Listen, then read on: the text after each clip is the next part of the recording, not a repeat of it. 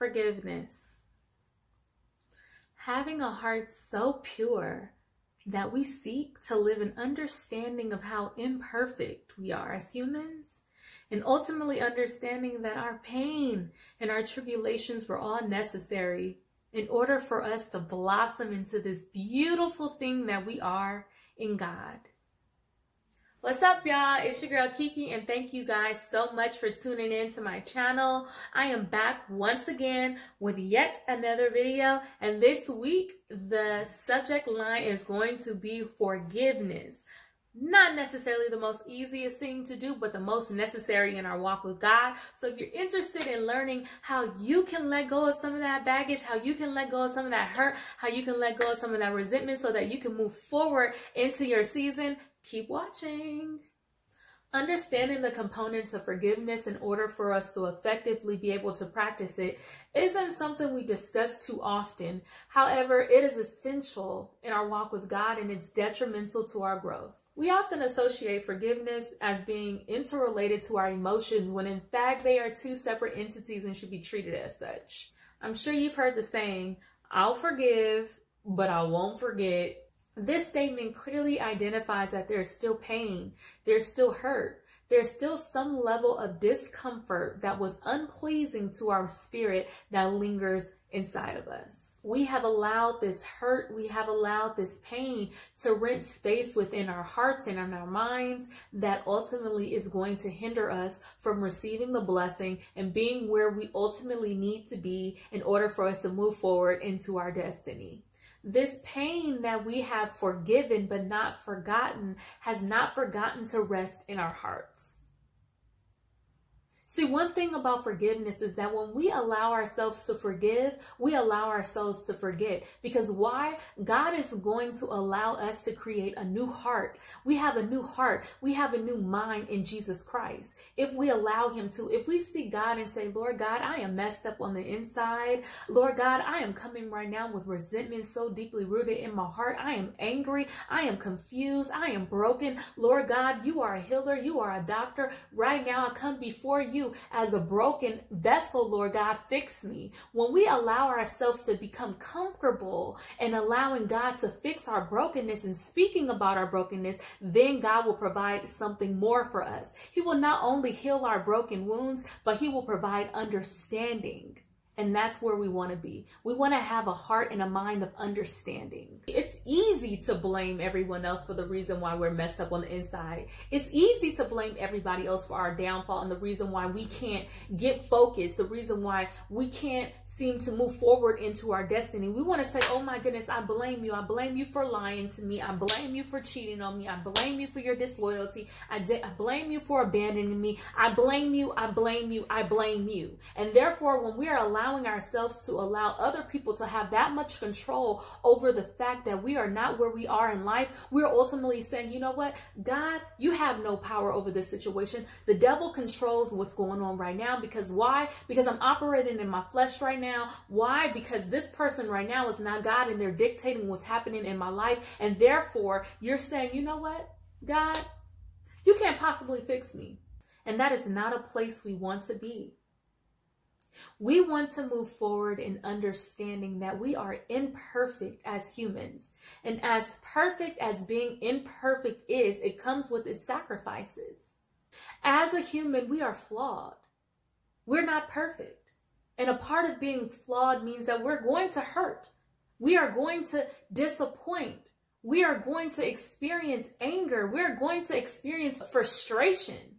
We may experience confusion at one point in time, but we have to seek God. And when we seek God, we seek Him and we seek His understanding. Proverbs 15 14 states, The hearts of him who understands seeks knowledge, but the hearts of fools feeds on foolishness. This scripture is so profound in so many ways. First of all, it tells us right there that when we have understanding, we are seeking knowledge. We are trying to move forward. When we have understanding, we realize that certain things that we've been harboring in our hearts and in our minds have been completely unproductive. We have given certain situations, we have given certain people too much time, too much dominion over our lives that has caused us to be super unproductive, that has caused little to no success, that has been completely causing us to remain in a stagnant state in which God does not desire. God desires us to branch off and to be great. He desires us, our whole being, to be fit for bringing more people to the kingdom. We can't possibly do our work of the kingdom if we are manifesting in things that are negative, if we're allowing our past experiences to hold us down. We are no longer bound. We are no longer bind to chains. We, we demand right now that chains are broken. We speak life. We, we, we cast out any strongholds right now that is holding us back from that. And therefore, we are saying, you know what? We are forgiven. We are forgiven, so therefore, we are going to forgive. God says, I've forgiven you, so you you you have to go ahead and forgive. You have to get forgive my people. We are so imperfect. We are perfectly imperfect human beings, and that's what makes us great. With that being said, let's get into the components of forgiveness. Number one, separate the act from the emotion. Identify the action that caused the pain. Number two, process the pain. Talk about the hurt. So often we do not want to talk about our hurt. We do not want to discuss our pain.